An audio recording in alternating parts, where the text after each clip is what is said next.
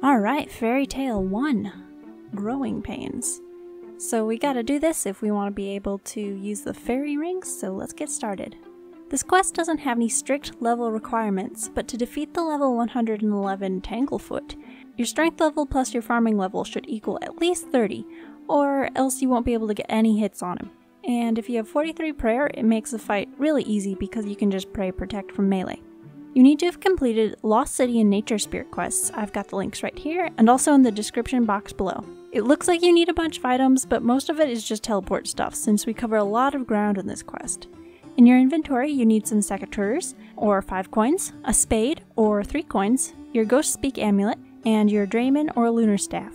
To help the quest go a little bit faster, I recommend wearing any weight reducing clothes you have, Falador teleports, a Chronicle or Combat bracelet if you have one, Varrock teleports, a Lumbridge teleport, a charged Amulet of Glory would be really helpful, as well as some energy potions for the running bits. In your bank, you should have your Druid pouch and blessed Silver Sickle and food, strength, and prayer potions, rings of recoil or ring of life, and melee armor, and if you want to get everywhere as quickly as possible, I recommend having a Draynor Manor teleport, Charge Skills Necklace, and either a Ectophial, Salve Graveyard Teleport, or a Kharyrll Teleport.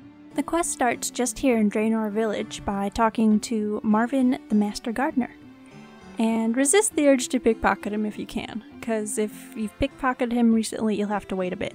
He says he's been having some problems and ask him, Anything I can help with? Then he goes on a long rambling story about how his plants haven't been growing very well, he asks if you've noticed your crops haven't been growing very well either, and just say, Now that I think about it, you're right. He says you should go investigate by talking to some of the other gardeners. You can talk to any five gardeners found at garden patches around the map, but the five closest are located in these spots, so these are the ones I'll be talking to in this guide. First is the Spirit Tree Patch in Rimmington, where we will talk to Frizzy Skernip, another fantastic name. Ask him are you a member of the group of advanced gardeners? And you'll ask him if he's noticed anything weird. He thinks it's because there hasn't been enough rain. And so until we figure out how to make it rain, we're gonna have some problems. Alright, Frizzy rolling that way. Okay, sorry. So it's the fairy magic. Now head north just a bit to the farming patch there. If you need a spade or secateurs, stop by the building here and buy some from Sarah. And then we need to talk to Elstan and ask him if he is one of the advanced gardeners. Oh, wow, look at that beard. Guys out there, please, please, please never comb your beard into two spikes. Anyway, he blames the insects. Next stop is the gardener here, so either teleport to Falador or just run. Talk to Heskel and ask her if she's one of the advanced gardeners. Her explanation for the failing crops is because adventurers go around digging them up all the time. So, yeah, she blames us. Moving on, head to the berry patch at the Champions Guild. If you have a combat bracelet or a chronicle, chronicle I think is a holiday item, you can use it to teleport right to the Champions Guild. Otherwise, teleport to Varrock and head south. Talk to Dreven and ask him if he's a group of advanced gardeners member. And he blames the crops on the seasons? So, like global warming, I guess. Oh, he says to get to the root of our problems. I see what he did there. Uh, I'm not sure why I'm so goofy today. It Must be the, the fairy effect. Okay, one last stop, teleport to Lumbridge, and then go west to the tree patch. Talk to Fayeth. And is she an advanced gardener? Yep, she is. And you tell her everything you've heard so far. She says, what if I told you that they're all correct? She says it's fairies behind it. Fairies? No way. Not in a fairy tale quest. Our character kind of says, Yeah, sure, Fayeth. Now go back to Martin. Either run or Amulet of Glory teleport. We're here about the quest, and you'll tell him we haven't found any promising solutions yet. He says, Go talk to the fairies. That's the best suggestion we got, apparently. So you might remember from the Lost City that the Fairy City is found here in this shed. Make sure you've got your Dramen staff and run there. Equip your staff and click on the door and you'll be transported to Zanaris. Just head south into the chamber with the Slayer Master icon. Normally, the Fairy Queen is found around here, but she's missing, so we need to talk to the Fairy Godfather.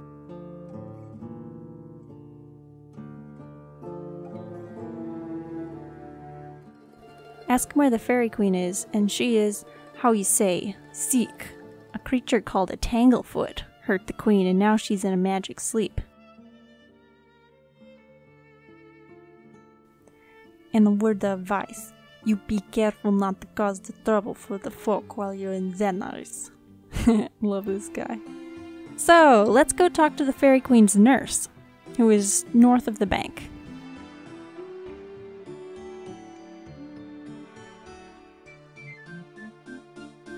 Okay, go into this little nook here and talk to Fairy Nuff. She'll say, Go talk to the Fairy Godfather. We'll say, We already did. And then offer to help cure the Queen. She's not very impressed when she finds out that we have absolutely no medical qualifications. She gives you a list of the Queen's symptoms anyway and says take it to Zandar Horfyre, who lives in the Dark Wizard's Tower by Falador. So just pop on over to one of the fairy bankers and grab either your skills necklace or Falador teleport, a Varrock teleport, a Draynor Manor teleport if you have one, and bring some magic protection armor if a level 23 Dark Wizard sounds scary. Using your Falador teleport or skills necklace, make your way to the tower here. Go to the top floor of the tower and talk to Zandar. He's kinda a cranky dude, but when we say Fairy Nuff sent us, he calms down. We tell him the Fairy Queen has gotten into some trouble after a fight with the Tanglefoot. Anyway, Zandar says go talk to Malignus Mortifer, who knows about the Tanglefoots. Tanglefeet? Leave the tower and go southeast to find Malignus Mortifer. Tell him you need help fighting a Tanglefoot.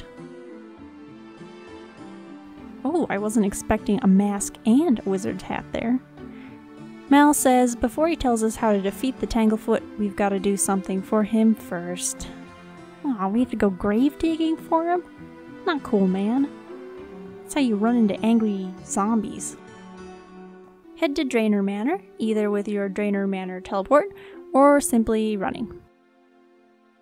Go around to the back of the house where you'll find a grave. So glad we can help this guy with his collection of skulls. Stand on the grave and click your spade to dig up a skull. Okay, got it. Alright, make your way back to him. You can save a minute of running with a Draynor Village Glory teleport, or just use those good old leg ponies. Leg ponies means walking, by the way. Talk to him again about the Tanglefoot, and we'll give him a skull, and he says the only way to defeat a Tanglefoot is with a pair of enchanted secateurs. To make these enchanted secateurs, we're going to need three items, which are different for everyone and pulled from a list of about 30 different items. So I got grapes, an uncut ruby, and jogre bones. And you don't have to memorize your items or anything, just finish your conversation with this guy, and then go into your quest log and the items will be there. At this point, most of you non-Iron Men are going to want to make a trip to Varrock and the GE and get your items. Iron Man, you might have a tougher time with this, but the wiki lists how to get all the items, so I'll put a link to it in the description box. We have to take these items to the Mort Myre Swamp, which you may recall from the Nature Spirit quest will rot any food you have if you don't have a filled druid pouch. So if you have a food item on your list, either buy some Mort Myre mushrooms at the GE and fill the druid pouch, or buy multiples of your items if it's cheaper than the mushrooms and just let them get rotted one by one. I got away with only using three druid pouch items, but you should probably bring six instead. So grab your three items, Secateurs, Ghost Speak Amulet, Dramen Staff, Energy Potion, and Lumbridge Teleport. And if you have food items, bring your Druid Pouch and Blessed Sickle. And then getting there is a bit of a challenge as well. You can use a Kharyrll Teleport to get to Canifis, the Shades of Morton minigame teleport if you've completed the Shades of Morton quest, the Ectophial if you've done the Ghosts Ahoy quest, Salve Graveyard Teleport, or you can run east from Varrock, then going through the trapdoor to the north of the temple and through the weird little dungeon. Go to the entrance of the swamp and click on the gate to enter. If you need to gather some Mort Myre mushrooms, equip your blessed silver sickle, stand next to a log or tree, and then go into your equipment and right click cast bloom. Pick up the mushrooms and then repeat until you have at least three, then click on your druid pouch to add them. If you don't need to bother with that, just start running south to get to the Nature Spirits Grotto. So here we go. Uh, there's that ghast, yeah. And uh, oh gosh, I'm down to one thing left in my druid pouch. Okay, nothing left in the druid pouch. Cutting it a little bit close, but almost there. And quick, quick, quick, quick, quick across the bridge. Well, fell in the river, but safe enough. Put on your Ghost Speak amulet if you aren't already wearing it, and go into the cave. Talk to our old friend, the Nature Spirit, and you'll tell him we need to defeat a Tanglefoot, and then he'll take your three items to enchant the Secateurs, and then he disappears. And if you pray here, you'll get some bonus prayer points, which will come in handy in the upcoming fight. Next, use your Lumbridge teleport or home teleport, and from there, head south into the Lumbridge Swamp to the entrance to Zanaris. Equip your Dramen staff, then click on the door and you'll be transported to Zanaris. All that's left to do now is just the fight with the Tanglefoot, so head to the bank to the west to grab supplies. So the Tanglefoot attacks with melee, so you'll want to wear some melee armor. If you have the level 43 prayer, it is a pretty easy fight, although it can be kinda long. If you aren't using prayers, know that it can hit up to 11. If you have anything that gives you prayer bonuses, like God Armor, or strength bonuses, like Climbing Boots, wear those. There's no need to bring any weapons, since the only thing that will damage the Tanglefoot is your enchanted Secateurs, so just bring those. Rings of Recoil are helpful if you don't have 43 Prayer, so bring any that you have. I also recommend bringing Prayer Potion if you're using Prayer, Strength or Super Strength Potion, good food, and an emergency teleport if things go poorly since the battle is instanced. And when you're ready, head southeast, following the path, and then past the fountain, and then past the fairy ring and down this little tunnel. And if you have 66 agility, you can take this shortcut, and with 46 agility, you can take this shortcut. And now we're in this room, right by the entrance to the Cosmic Altar, but for now, we're interested in this passage to the west. Click to squeeze through a gap in the wall, and the gatekeeper, says that we're good to go fight the Tanglefoot. Head on down through the tunnel, and oh look, baby Tanglefoots! Don't attack them. And then take the left path when it splits up here. You'll be in the Tanglefoot's chamber. He doesn't seem to be aggressive, so you have time to turn on your prayer and drink some strength potion. Then attack with your Secateurs. Because you're attacking with a weapon that's not really a weapon, and damage is calculated using your farming level, it's probably going to be a long fight.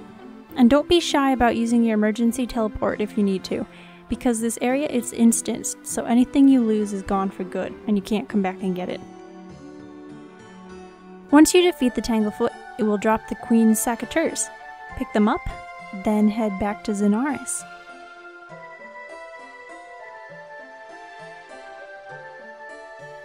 Go back through this windy bit,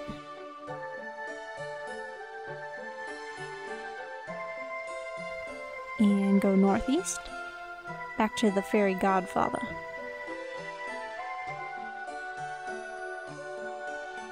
Talk to him, and he says he'll give the queen's secateurs back to her. And quest complete.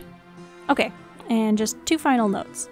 One, if you equip the green enchanted secateurs when farming, you'll harvest 10% more crops. And two, if you want access to the fairy rings, you don't actually need any of the level requirements for the fairy tale 2. You can just go through the steps just enough to use the fairy rings without needing the level 56 gardening. I'll put a link here and in the description box when I have the guide on Fairy Tale 2. Well, that's all for this quest. Remember to like and subscribe if you want to see more of my guides in the future, and thanks for watching.